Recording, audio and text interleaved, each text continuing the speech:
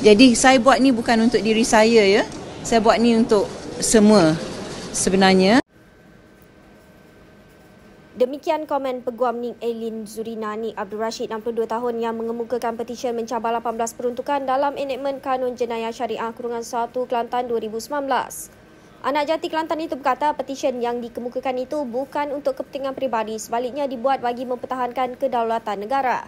Beliau berkata selepas ditemui di Istana Kehakiman. Ditanya adakah dia akan membawa petisyen sama ke negeri lain, Nik Eileen tidak berhasrat meneruskan petisyen itu. Akuinya petisyen dikemukakannya tiada kena-mengena dengan doktrin Islam kerana mahkamah sudah memutuskan ia hanya mengenai kompetensi DUT.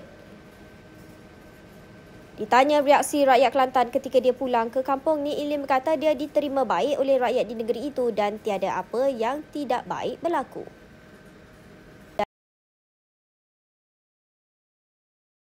Sebenarnya saya tak prepare tapi Alhamdulillah saya amat-amat bersyukur ya, dengan keputusan pada hari ini.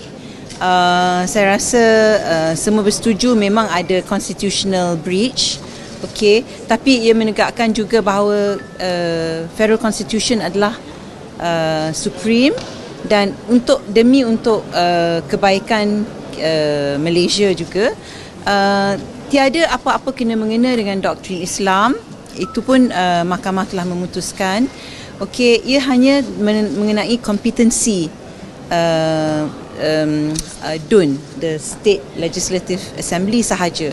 InsyaAllah tak ada lah kot. I mean, saya rasa selepas pada ini, uh, DUN-DUN akan uh, menggubal undang-undang yang lebih um, Yeah, I think they'll be more careful in uh, drafting the legislation. Saya balik Kelantan, saya tak ada kena kecaman pun. Semuanya menyokong saya. Alhamdulillah. Jadi uh, kalau yang kata um, itu tu saya rasa tu adalah uh, manipulasi fakta lah. Sebab saya balik Kota Baru tak ada masalah pun.